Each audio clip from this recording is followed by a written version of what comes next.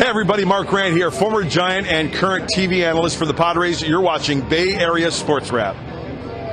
Well, what were your emotions like for tonight? Uh, you know, a lot of peaks and valleys emotionally. You know, a lot of firsts tonight for a lot of people, and you know, obviously didn't get off to a great start. Sloppy first period, too many penalties, and then I thought our penalty kill was huge, gave us a chance to stay in the game, and I thought we really played a good second period. Our power play was certainly opportunistic, and uh, you know, Cooley played really well, gave us a chance, hung in there. Um, third period, obviously they got the push, they get the early one, so you're on your heels a little bit, but I thought for the most part things were on the perimeter from their end of it, and you know we just make a couple bad reads on that six on five goal, and then a huge, huge kill in the overtime, obviously and he was again big through the overtime and just a great shot by Eki. What were your thoughts on the ejection? Um, I'm not out there. I don't hear everything that's said. Thought it was a little quick, but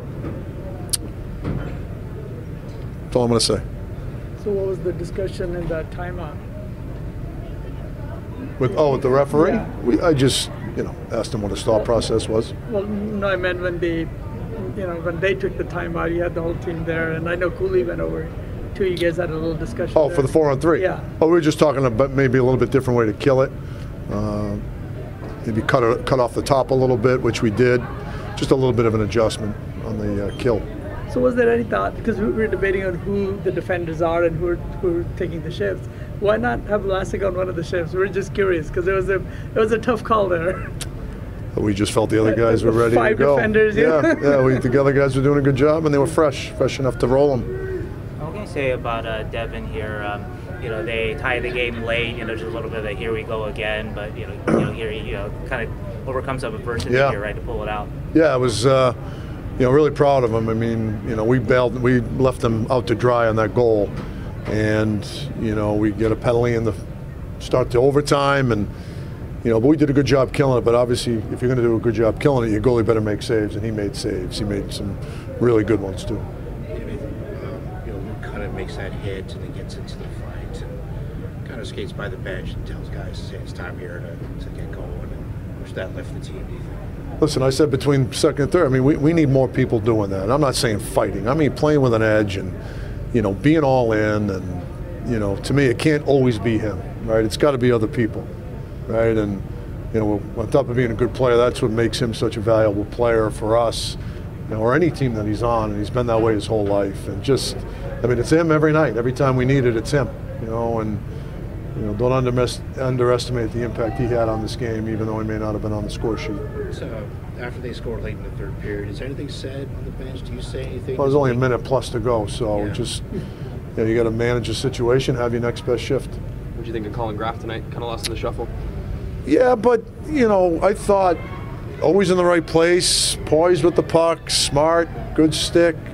You know, it's not always about you know wowing everybody in the National Hockey League. It's about, and I've said this, how bad you're bad, or you know, it's okay to go out there not a lot happen. That's going to happen in this league, and you know, in a funny game with the penalties, you know, there was a lot of special teams tonight. He was on the you know, second power play, but they didn't get a lot of time, and then the penalty kill, obviously. So it was a little bit of a, a disjointed game that way, but I, I liked what I saw. Over the last month, uh, the power play has been uh, particularly productive. Um, what can you take from that that maybe you know can go into next year? Well, Wise has done a phenomenal job with it. You know, we were a very young power play, and you know, you guys have all touched on you know our personnel, how young we are, and to be able to be where we are in the league is a real testament to the job he's done. And these guys, you know, are, are coachable, and uh, we've been opportunistic too. Uh, sometimes it's not the prettiest power play from time to time, but at the end of the day, it's about scoring goals. And you know, for a long time here, for two months, we've we've done a really good job statistically uh, scoring on the power play, and uh, you know, Wise has done a hell of a job with it. Looked like you put Henry Thrun out there with, with Graff on the first shift. Was that planned or is it just a rotational thing? Uh, just a rotational thing. Yep, Devin mentioned that, you know, going to that third period this time around, he was like, you know, there's no future, there's no futures, and that not, not to overthink it, right? Right. Could, could you tell on the, the poise that he had in that third and overtime? Yeah, you could see he was the same guy he was in the first two periods, and you know that's listen. Learning in the NHL is not easy, and you know that's what this is all about. You get in here, and I mean, no matter how old you are, you're learning, right? Coaches are learning, players are learning, and you know, when you go through something for the first time, you're going to look over it and look back. And go, oh, I could have done. I should have done this differently. So, you know, uh, good for him. It's been such a long season for you guys, tough season, obviously. Um, for especially for the young players. I asked William this question. For the young players, you know, how rewarding is a win like this to show this is what it can be? You know, if you do things right and so on. It, it goes a long way, right? You, you got to have some success in order to verify the what you're doing and you know, to be able to come back and, you know, win the game tonight the way we did. And, you know, again, sluggish first, but came back and played a much better second and third. And, you know, it felt really good to win tonight. There were a lot of milestones tonight. How important is it to keep that energy going into tomorrow night's game? Big, right? We want to finish strong here, right? We want to finish strong and we want to win some hockey games. We want to feel good about our effort, physical and mental effort. So, you know, we don't have a lot of time turn around here. We got to be ready to go tomorrow.